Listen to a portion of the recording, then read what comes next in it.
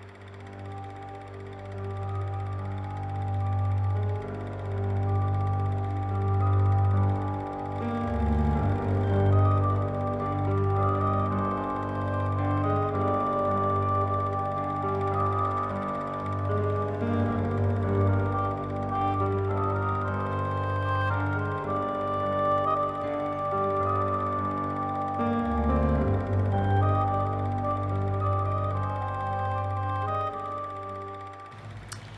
guys, it's April. So today um, I'm going to show you how to get this look. So a while back I had watched this film called Malpertuis. The film came out in 1971. Um, I had seen screenshots and a few gifs of it over on Tumblr and there was a character whose makeup I really really liked so I was like I'm gonna watch this movie because I wanted to do a tutorial on it eventually. So I finally did. Um, somebody uploaded uh, the full film. Well, actually, it's the it's the shorter version of the film. There's two versions of this particular film, but somebody uploaded um, one of the versions here on YouTube. It's all in Spanish, so if you want to watch it, I'll leave a link of the film down below. Just know that there's no like subtitles. And then somebody uploaded like part one of the Cannes version that's in English, but never bothered uploading the rest, or maybe it got taken down. I don't know. I guess it doesn't really matter right now. But um, yeah, I had watched the film and it's quite interesting, very gothic, very surreal and dreamlike. Um, incorporates Greek mythology. It's pretty cool. I don't want to spoil the film because it is quite an interesting watch. And um, so that's all I'm gonna say about that. However if you have seen the film or you watched it after seeing this tutorial let me know what you think. Maybe we could have a little discussion about it. Anyways Susan Hampshire played three different characters. Four technically maybe you can consider it four. She did play nurse at the very end but um, she played quite a few characters in the film and one of the characters that I was immediately drawn to was, okay, I'm gonna butcher the name. I am so sorry, but I think it's pronounced Erualia. That's how they were saying it in the Spanish version of the film. But yeah, she had this really beautiful makeup and she was really dreamlike and she's always looking down, which there's a reason why and you'll find out later. But um, yeah, I just really wanted to recreate her makeup. I thought it looked very beautiful and here we are. Anyways, this has probably been a really long intro and you probably just want to see the tutorial. So I'm going to stop talking and um, yeah, it's been a while. Can't you tell? Anyways, uh, tutorial. So to start off this look, go ahead and take any foundation. I'm using the Maybelline Superstay 24 Hour Foundation in Natural Ivory. And with a BH Cosmetics Angled Contouring Face Brush, I'm going to go ahead and apply this foundation all over my face. I am working in small sections since this particular foundation dries pretty quickly. But I'm just using little tiny circular motions, making sure that I'm really getting that into my skin. You can go ahead and use some sort of like beauty sponge if that's what you prefer, but I've been really digging these new BH brushes, so that's what I'm using.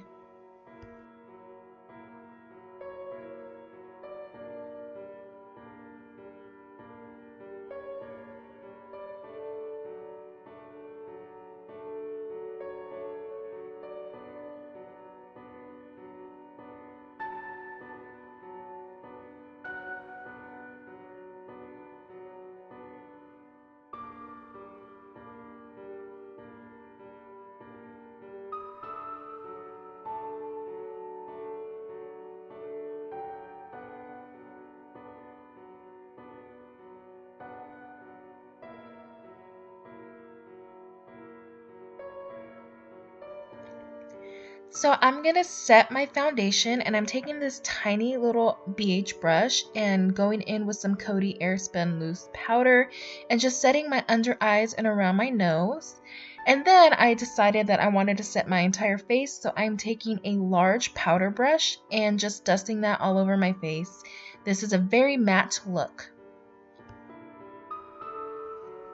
Moving on to the eyebrows, I'm going to take my favorite Benefit Brow Gel and I'm going to run this through the entirety of my eyebrows, but mostly focusing on the inner corner, making sure that they are brushed up so they look kind of spiky.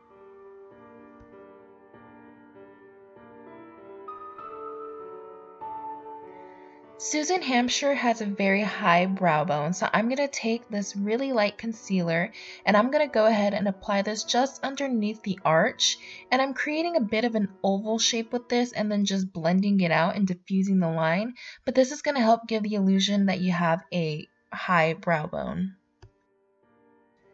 Take a piece of scotch tape and put that on the back of your hand and then peel it off to make the adhesive not as sticky. And go ahead and line up this tape on the end of your eye. I like to use my eyebrow tail as a bit of a guide, but go ahead and try to just get them as symmetrical as possible and um, stick them on. Moving on to the eyes, I'm going to pick up this blush color with a touch of this brown color on a fluffy blending brush and I'm going to go ahead and work this into my crease, mostly focusing towards the outer corner of the eye and trying to create a bit of a winged shape, but make sure that it's very soft and diffused and try not to get this eyeshadow where we laid down the concealer. With the same brush, I'm picking up some more of that nudie blush color and I'm going to go ahead and work this into the inner corner of my eye going down the sides of my nose to begin the contour process on the nose.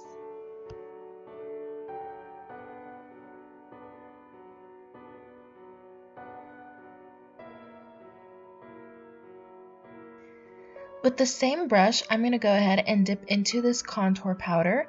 And with the nose, what you want to do is just build up the color because it can get really harsh quickly. So once again, I'm just building up the color, working on the inner corner of my eyes, and then slowly sweeping that down the sides of my nose, trying to pinch the end of my nose a little bit more. And once again, trying to keep it soft as possible.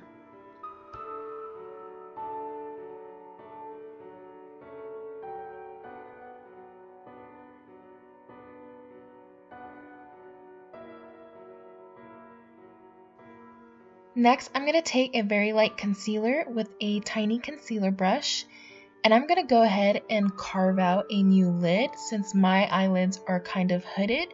But even if you didn't have hooded eyelids, it would be a good idea to go ahead and do this so you can see the stark difference between the lid and the crease. So I'm just making sure that everything looks even and that the color is opaque.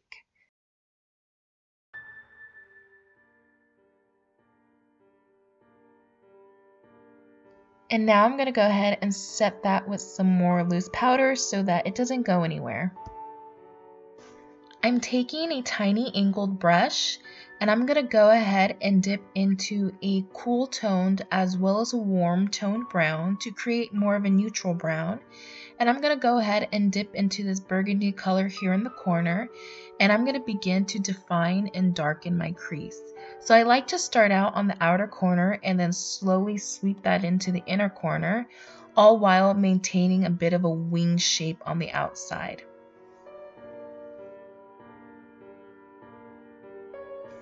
At this point, I'm just making sure that everything looks blended and everything looks symmetrical. If you felt like you drew your lids on a little too big, right here is a good chance to fix that.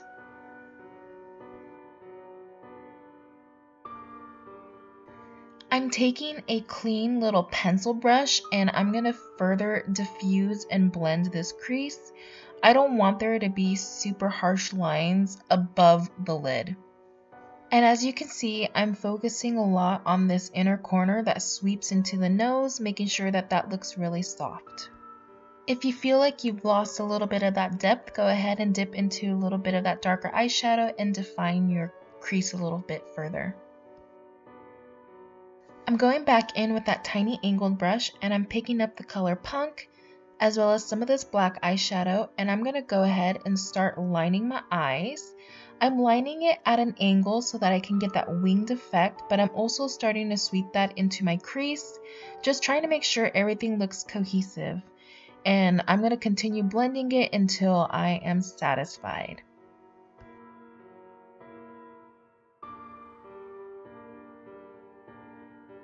Now with this dense angled brush, I'm going to pick up some of that brown and I'm going to go over what we laid down and this will just help further soften and blend the look. So if there's any harshness, it's going to help cover that up and make everything look really soft. I'm going to take some black liquid eyeliner and I'm going to go ahead and thinly line my top lash line and I'm also going to make sure that I wing it out just a touch towards the end. And what's really important is getting this inner corner. And that's going to help make your eyes look a little bit more feline and larger and upturned. And any mistakes can be fixed with some concealer and a flat concealer brush. With that angled brush, we're going back into that burgundy and that black, and we're going to go ahead and apply that over the liquid liner just on the outer corner. And that's going to once again soften it so it doesn't look super harsh. Go ahead and peel the tape, and with that foundation brush we used earlier and whatever leftover product is on there, I'm going to go ahead and just soften the outer corner of my eye near the eyebrow so you don't see the super visible line go ahead and curl your eyelashes. Is anybody else really terrible at curling their own eyelashes? Because I know I am. And now I'm going to add one coat of waterproof mascara just to blacken the eyelashes and to hold the curl.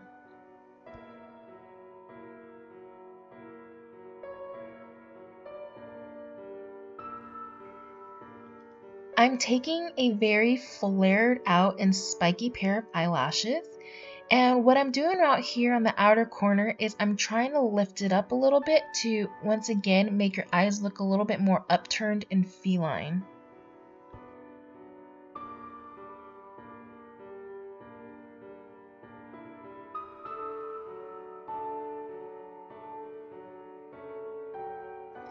Back with that tiny angled brush, I'm going to go ahead and dip into the cooler brown eyeshadow and I'm going to begin to line my bottom lash line. I like to start on the center of the eye so that way I can flick it out a little bit and that's going to give the illusion that your eyelashes are creating a shadow and then I'm going to go a parallel to the inner corner eyeliner. So once again, this is just going to give you a very feline look. I'm dipping into a little bit more of that burgundy color just to deepen it up a little bit. Now back in with that liquid eyeliner, I'm going to go ahead and further define this with that liquid eyeliner.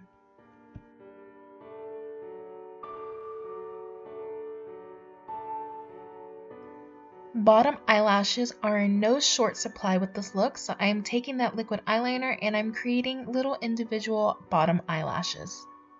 And now I'm actually taking a pair of bottom false eyelashes and applying that right underneath my lash line. Right now would be a good time to cover any lash glue that is peeking through.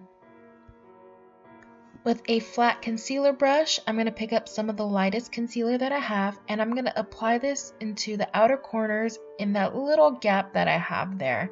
And I'm going to go ahead and get some of that onto my waterline. I'm going to use my finger to tap it in and make sure that everything looks soft and diffused. And this is really going to create great definition on the eye and make it look super feline. With a really dense blush brush, I'm going to go ahead and dip into that contour powder that we used earlier. And I'm going to go ahead and contour what would be the hollows of my cheeks, making sure that they look super defined because Susan Hampshire's bone structure is amazing and I want to get as close to that as possible.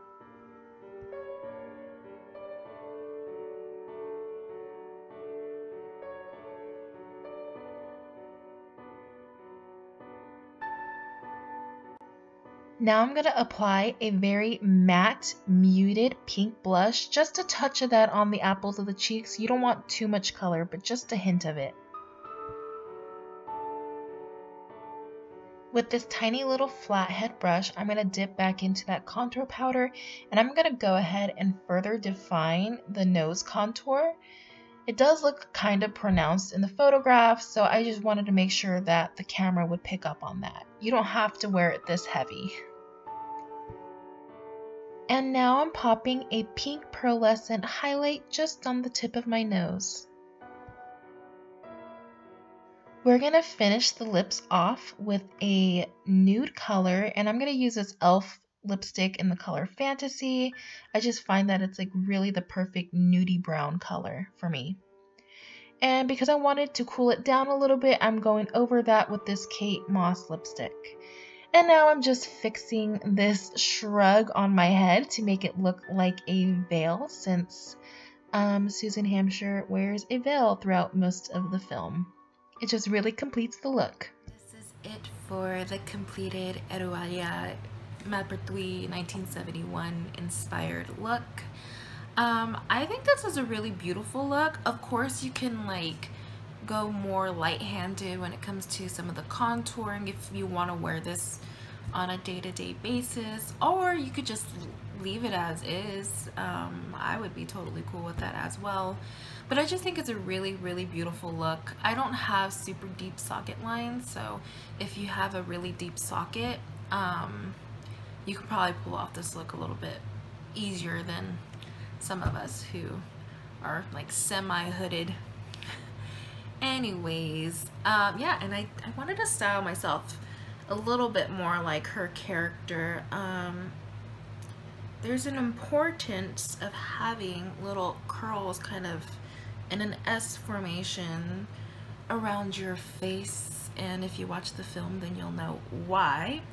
But um, yeah and then I threw on this veil because it just makes me look kind of virginal religious um, I don't know I just wanted to put a veil on because she wore a veil in the film film as well so um, this is my sister's little shrug type thing. But yeah, um, I think that's about it. Really cool film. If you've seen the film or watch it after this, let me know what you think because I was kind of like, what the is going on? and because it was in Spanish as well, you know, and I, I do understand Spanish. I, I don't speak it very well. Sorry, mom. Um, but it was like España Spanish. So there were some some things where I'm like, mm, okay, the vernacular is a little bit different. You have to remember I'm like Guatemalan, so uh, I was just like, hold on, hold on. Um, anyways, why am I talking so much, guys? I don't know. I don't know. It's been a while since I filmed a tutorial, and I always feel really weird talking to a camera with no one there. Anybody else film tutorials feel kind of awkward and weird too? No, just me? Um, yeah, anyways, um, I'm going to leave a list of all the products down below in the description box and there will be other links to different things. Um, also, I just wanted to say a big thank you to everyone out there who watches my videos, my tutorials, because you guys are super sweet. You always leave the nicest comments. I'm I don't know. You guys are so sweet. I can't believe it. Like, I'm like, me? Me? Um, you know, it I, really means a lot, especially when one of my favorite comments that I get from you guys is in regards to the type of videos that I put out and that's something that I always try to think really hard about um, because I, I don't want to sit there and put videos that you, you can see elsewhere you know probably with someone more skilled than me. Um, you know, I like vintage retro makeup. I like weird, obscure films and pop culture references and um, you know, that's just the things that I like and it's kind of cool that there is also a community out there that also enjoys the same things that I do and it just makes me feel like I have a friend in all of you guys and I don't know, you guys are just really sweet and I can't tell you how grateful I am for all of your support and love. And I'm, I always say this, and you know, I never keep my word, but I, I'm gonna try, I'm gonna try to film a bit more often now. Just such a lazy person. Anyways, this is gonna be a really long video and most of it's just me talking, so maybe I should edit it into a different video. We shall see. Um, thank you again. Don't forget to give this video a thumbs up. Subscribe if you want. And yeah, I guess I will see you guys all later. Bye!